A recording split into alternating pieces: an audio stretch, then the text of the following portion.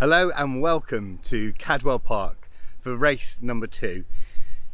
The weather is so much different to two weeks ago in Oulton Park. Today has been glorious. It's been 30 degrees today, uh, which is a Thursday. Um, now it's around six in the evening, so it's just starting to cool off and the paddock's gone quiet. And then uh, tomorrow is Friday test day. It's going to be in the 30s again. And Saturday is looking really nice. Just the smallest chance of a tiny little bit of rain, but nothing like what we could have had for Oulton Park. So what we're going to do is just see if we can take a look at our first kind of glimpse of the circuit. I've never been to Cadwell, so I'm excited to see what the circuit looks like. We can see the crest of mountain and literally all I can see right now is is road appearing from nowhere. So we're going to be coming up over the hill there, along this short straight into Hall Bends. And all I can tell you right now is it looks an awful lot tighter than it looked in the simulator right, right now.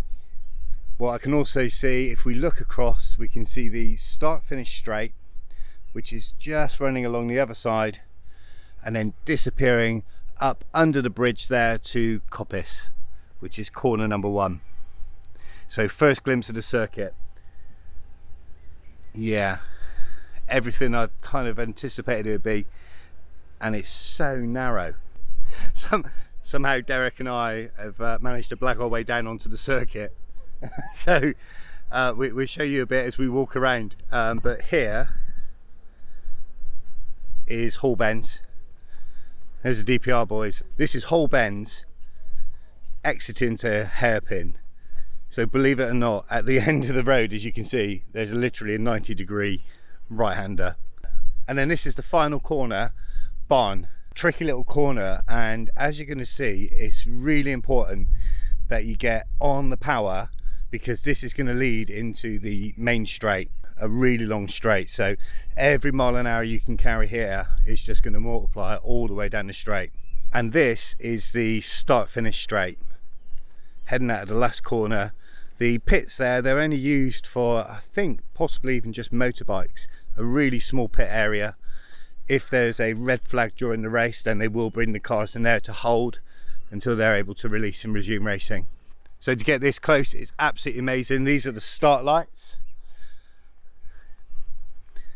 And we are literally right on the grid. There's Big Derek surveying all that he knows. And this is looking back up the start finish straight up the grid, up under the bridge for the first corner coppice. One of the other unusual things with Cadwell Park is here's the start finish straight that we mentioned. Well, just the other side of this barrier is the return of the track. So just here, this side of the barrier, this is the not straight straight that leads from Mansfield and then into the real famous mountain section. So the turning point is going to be here on this service road believe it or not it's a third gear corner. Can be taken in second we'll see how we feel but probably third gear. Tight in quite a big hill Derek isn't there like a mini Eau Rouge Derek saying. Definitely avoid this the uh, second part of this curb at all costs. That's the car breaker. Not quite sure if the camera's going to show just how steep this is. Now the 420s get all four wheels off the floor at the top of here.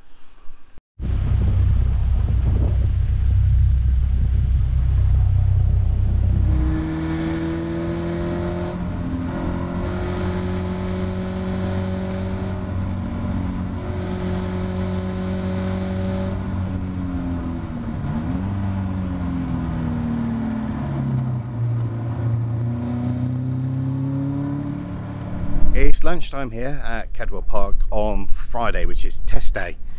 So I've had two sessions this morning, two good sessions. Uh, I say good because I've never driven the track here before at Cadwell Park. Uh, I know that's amazing because uh, it's one of the very, very best circuits in the UK for Caterham drivers.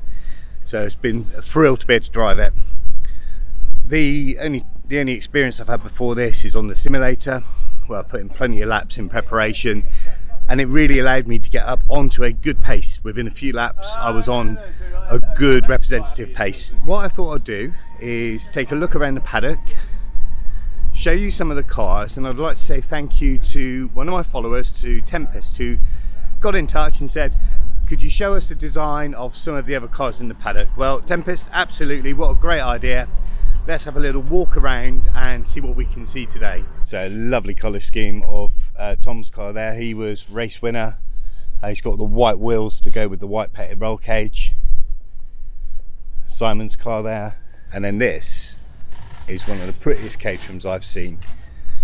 Stu Hatzel's car with the offset twin stripes. Carl Webb. I think this is one of the most eye-catching. This is Ryan's car. Wheels and the green cage. And Hugo's very distinctive. Matt Gray. So here's an interesting car, the car of James Walker. Big YouTube star and social media star, Mr. JWW, racing here in the Caterham Academy this year. And Jack Woodgate's car. Jack actually works for Caterham and he's running in the white group. Here's a really lovely car. So it's got the mirror finish, third place finisher in the last race. So here's a close one for you. I wasn't quick all day going through the second corner, Charlie, so I was trying some different things.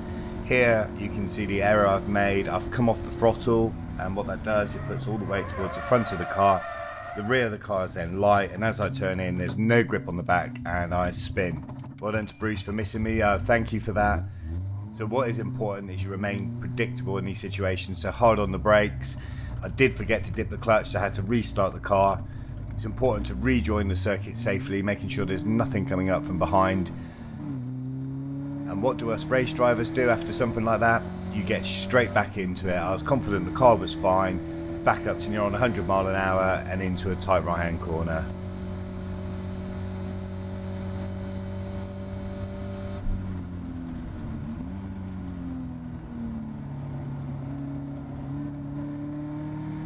So there's a test day at Cadwell Park done. In terms of improvement on time, just a couple of seconds between the first session and the last. And some people were saying that in general the, the track degrades as it gets warmer, the car's power drops. So most people were, were matching their time. So perhaps I shouldn't feel too bad about it. In terms of overall pace, I think it's enough to get me in the mix again. Um, I reckon it'd be second half of the pack in qualifying and then uh, hopefully my race pace will see me through. So kind of that's where we're at for the day. But it's still really warm really nice. So what we're going to do is just watch uh, some of the other Caterhams uh, on their test sessions. So I think we've got 270s oh no it's the 420s so this is the fastest class. So 420s and the 310Rs going around. So we'll take a look at some of that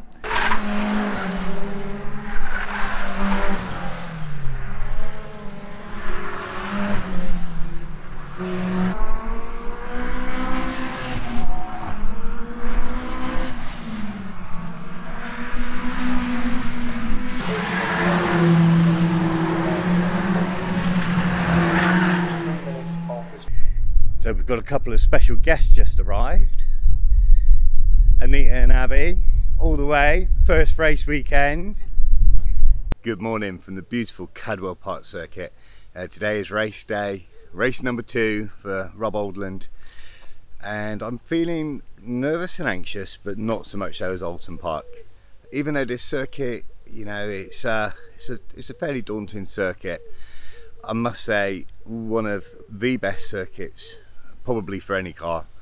But if you've got a Caterham and if you've not driven Cadwell Park, like I'm ashamed to say, was my case before yesterday's testing, come to Cadwell Park. It does not disappoint. It's just terrific. So racing at Cadwell can be tricky for a few reasons.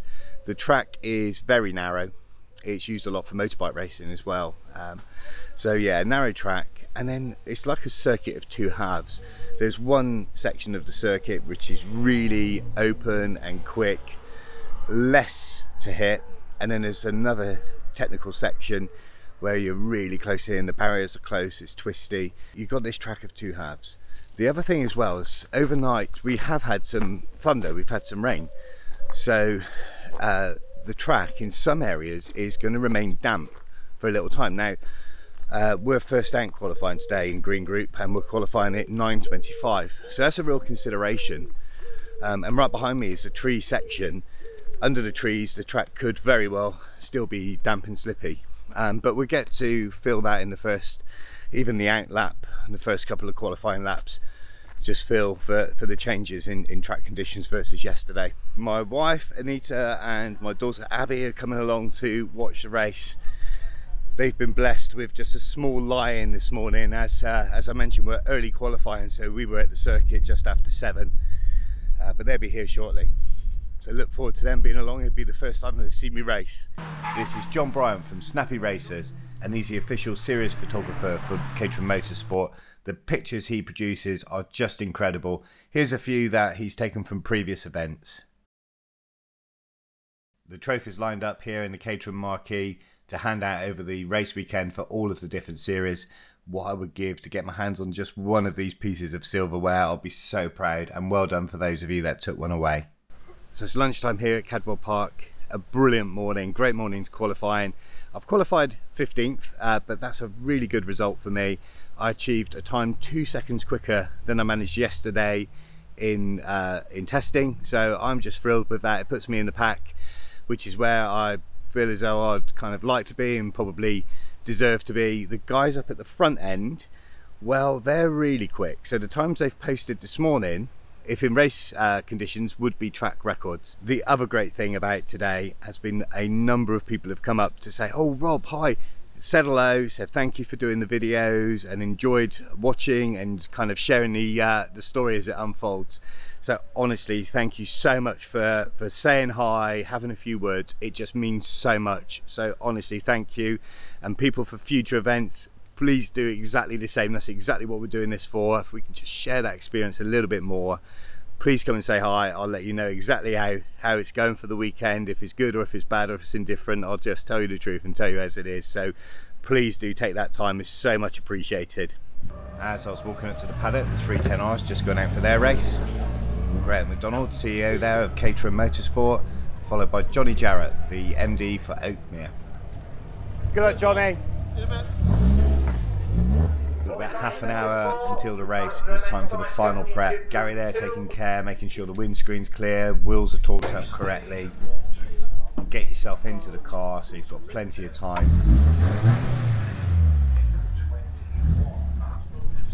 Been looking forward to this moment for a year now where Abby joins me on the back of the car and we're on our way down to the assembly area.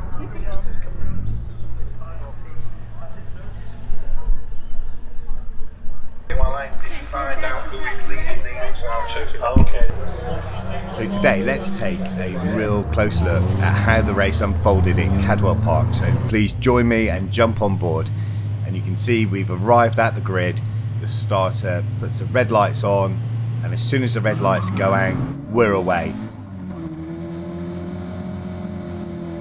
I've made a really good start. Plenty of traction off the line starting to kind of find a gap and one opens up as we come into the first bend coppice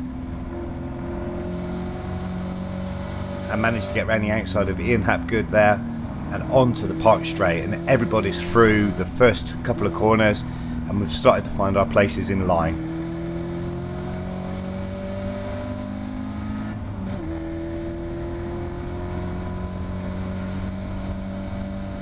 I can see Marcus Eels is in my mirrors, defending on the right hand side. I can see Marcus Eels closing in on me, but he's too far back to make a, a valid move, so I'm able to move across and take the line.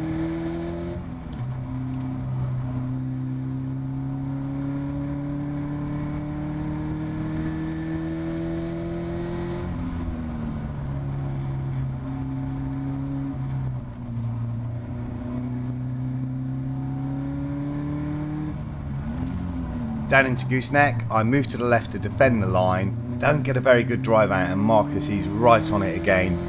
He's picking up my slipstream and makes an excellent move into mountain. So he's up alongside me this time. Give him a Coswit, he absolutely takes the spot. Really nice move, well done Marcus.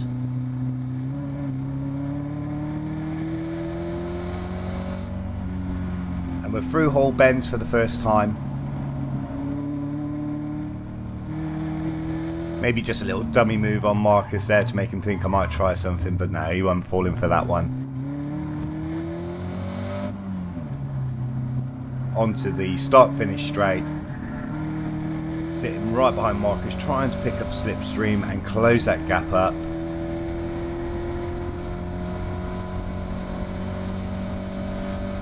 There we go, just over 100 miles an hour as we turn into turn 1 Coppice.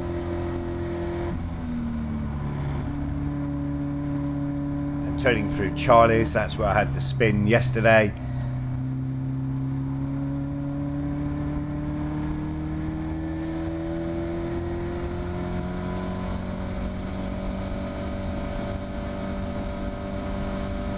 Up onto the park straight and at the 100 yard board hitting the brakes to make the right hander using all of the track and perhaps a little bit more that I didn't pay for on the left hand side on exit.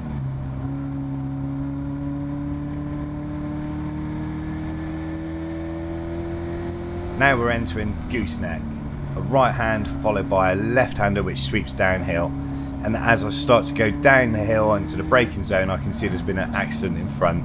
I see Bruce, I see Mika flying across and Pete Mott there. Unfortunately, that was the end of the race for Mika and for Bruce. But for now, we carry on.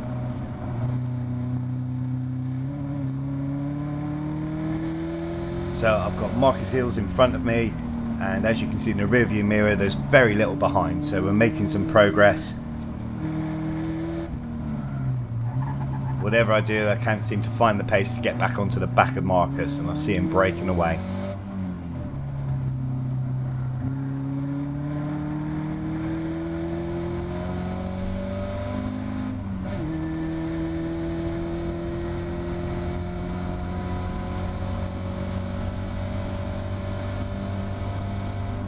Back up through Coppice, into Charlie's.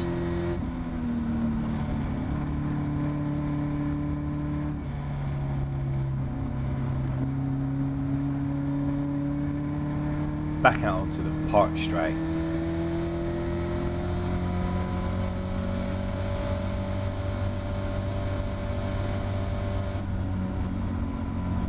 As you can see the yellow flags are out and the safety car board is displaying. And Bruce's car were in a real vulnerable position and couldn't be cleared easily. So the right thing to do is to deploy the safety car to recover them.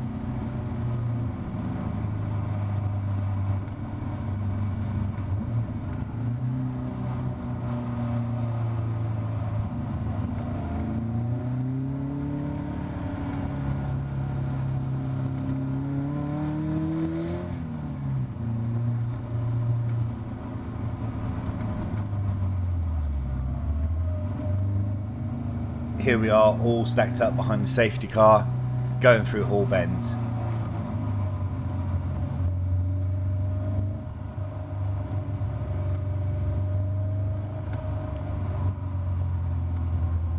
I can see that the lights have extinguished from the top of the safety car indicating it's going to come in at the end of the lap.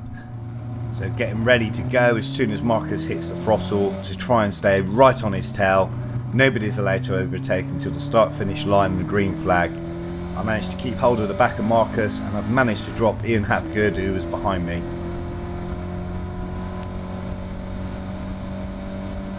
Back up to race pace, into Coppice and into Charlie's and out onto the park straight.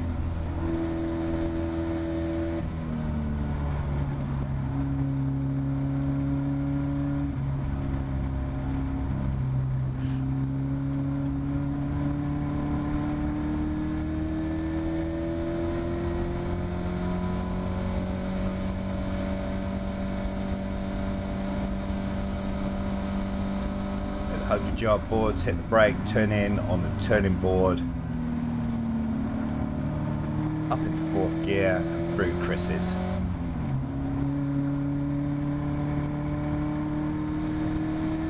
Next is gooseneck. Turning into the right hand side, hold the curb at the end of the curb, swinging left and down the hill towards Mansfield. Change of tarmac's a great place to indicate where to brake and down into third gear for Mansfield. Important to get a good run out of Mansfield because you've got the not so straight straight in the lead up to Mountain. Down to third gear, turning into Mountain, pick up the left hand curve and then it's hard on the throttle and power up over the blind crest of Mountain. Now we're entering Hall Bends, find your turning in point, a right left, right left, and then a downshift to second for the really slow hairpin. Short shifting up into the final corner, barn. Then back on the power for the start finish straight, up into fourth gear.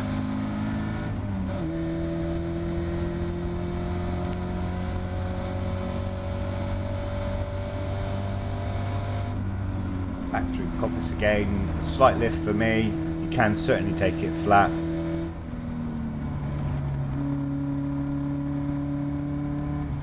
Seen a little bit of dust being picked up from Marcus there going through Charlie's. Ran slightly wide.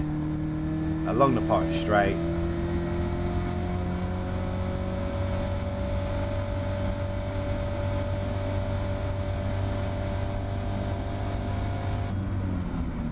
down into Birdford Park.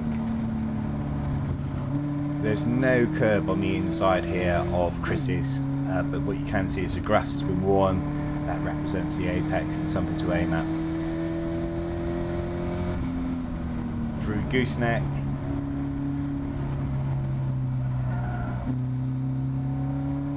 Change down from Mansfield. Now, I can see Ian Hapgood is now closing in on my tail. You can see him there in my mirror. Without a doubt, Ian is the faster driver around Cadwell, but can I defend this position fairly? So here we go up through the mountain section.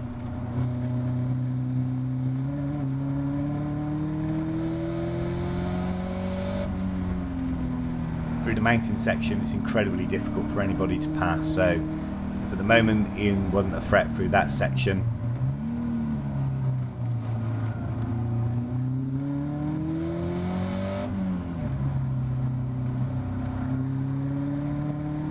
Tried to drop him on the main straight. The last thing I want is for Ian to be in my slipstream and just power past me. But we've made a big enough gap along the start finish straight. Up through turn one Coppice and into Charlie's. I know I've got to get as good a drive out of here as possible and try to drop Ian from behind me.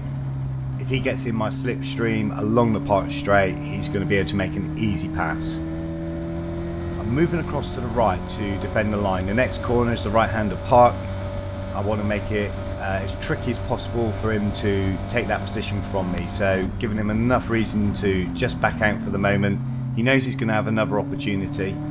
So we're through Park into Chris's. And for the moment I managed to fend off Ian. Doing enough now through Gooseneck just to make him think twice. Through the left-hander got enough gap to make it through Mansfield.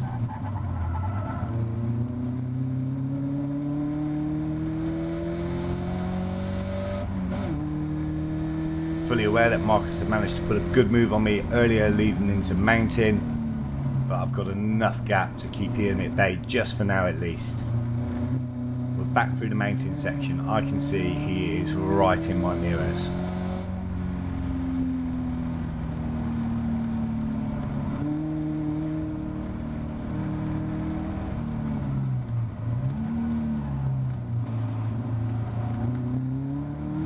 Focus here is to make sure I get a good drive out of the final corner barn to make sure I drop in along the start finish straight and prevent it from catching that slipstream and making an easy pass.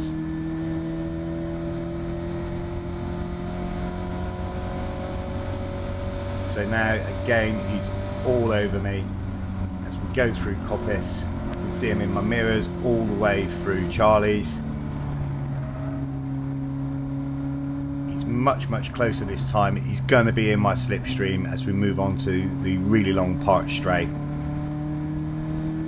This time I'm staying all the way over to the right, not leaving the car's width. If he's going to make a pass, he's going to have to go all around the outside, which he tries to do and outbrakes himself. So I live to fight at least a little bit longer.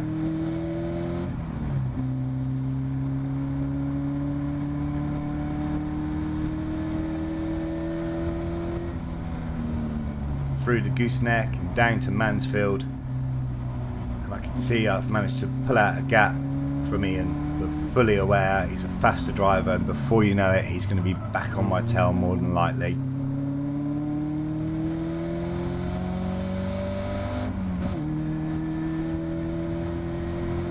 But for now just making sure of mounting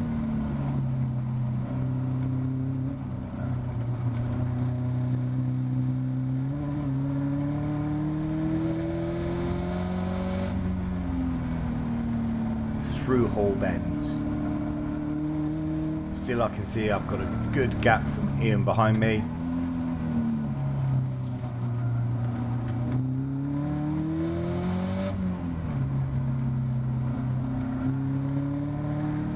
And Marcus is still in my sights ahead.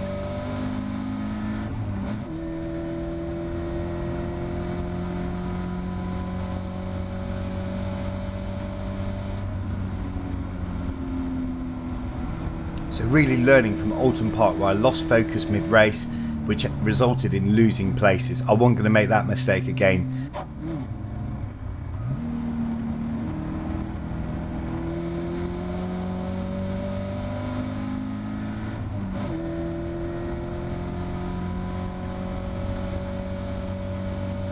As we're coming towards the end of the park straight, I can see Ian is back behind me.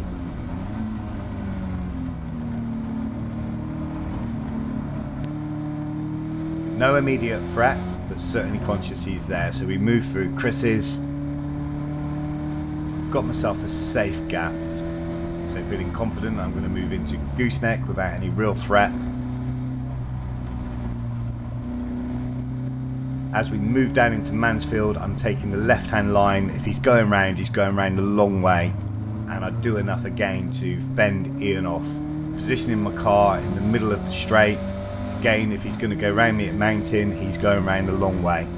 We're side by side as we come into Mountain, giving each other enough room, and I've done enough just to hold Ian off there. Us fighting has allowed Pete to close in, and now Pete is chasing down both of us down through the Hall Bend section. Pete making an ambitious move up the inside on Ian results in both of them being off the circuit for a short time at least. I can see this in my mirror so all I need to do now is make certain of making the final corner barn.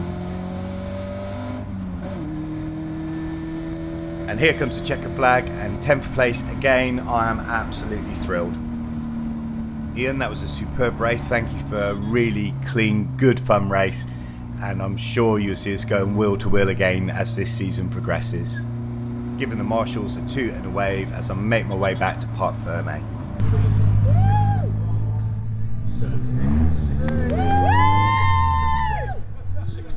There we go, what an epic race. Uh, started 15th, finished 10th, another blistering start. Starts are obviously uh, kind of good for me, so a good start, managed to find some space up into Coppice and made up a couple of spaces at least. Then there was a collision in the safety car between Mika and Bruce. And nobody likes to see accidents like that, but uh, I've certainly seen Mika and I hear that Bruce is okay. So best wishes, guys, and uh, hopefully the cars are little more than getting the corners sorted. So best of best wishes with that. Good restart from the safety car. Um, didn't didn't make anything, didn't lose anything either. So kind of got on it got on it early managed to get a gap to Happy just behind me and my word me and Ian Hapgood we had one hell of a ding dong for the rest of the race. Uh, in truth Ian is faster around here than me uh, but in a really fair way I managed to defend my lines uh, learning from Oulton Park not giving nothing away and held on to that 10th place spot. So there we go race number two 10th place. Well done for getting 10th place. Well done, babe. You're brilliant. Very proud of you. Love you. Love you.